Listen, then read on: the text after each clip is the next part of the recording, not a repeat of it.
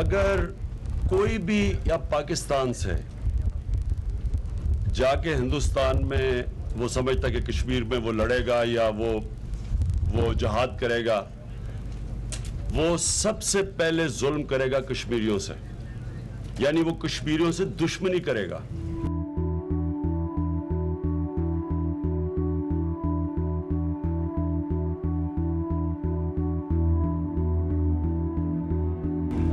کیونکہ وہاں نو لاکھ انہوں نے فوج رکھی ہوئی ہے۔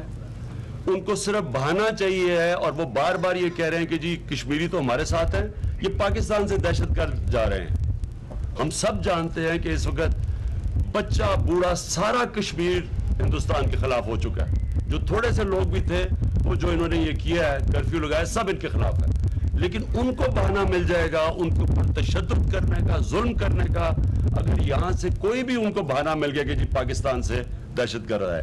دوسرا، وہ ساری دنیا کو پاکستان کی طرف کہہ دیں گے جی دیکھیں جی پاکستان، اصل میں یہ مسئلہ پاکستان کی دہشت گردوں کا ہے۔ کراس بارڈر ٹیررزم پاکستان کو وہ دوسرا ساری دنیا کی ٹینشن ہمارے پاس، اس وقت بری طرح پھنسا ہوا ہے ہندوستان۔ یورپین یونین نے سٹیٹمنٹ دے دیا امریکن کے سینیٹر سٹیٹمنٹ دے رہے ہیں۔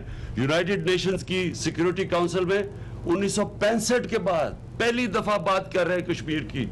اس وقت ان کے اوپر دن بدن پریشر بڑھتا جا رہا ہے۔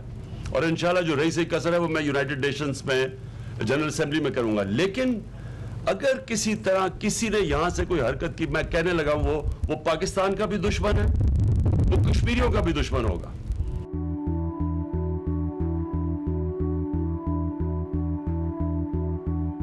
اور یہ جو ایک ایک اور اور جو میں نے سندھ میں دیکھا، یہ گوٹکی میں جو بھی جس نے کیا ہے، کہ یہ جو ہماری جو ہندو کمیونٹی ہے، اس کے خلاف جو کیا گیا، میں آج سخت اس کی مذمت کرتا ہوں اور میں یہ کہنا چاہتا ہوں کہ یہ کانسپریسی ہے، جان کے میرے یونائٹڈ نیشنز جانے کے وقت کے اوپر، یہ جان کے کیا گیا سیبوٹاج کرنے کے لیے۔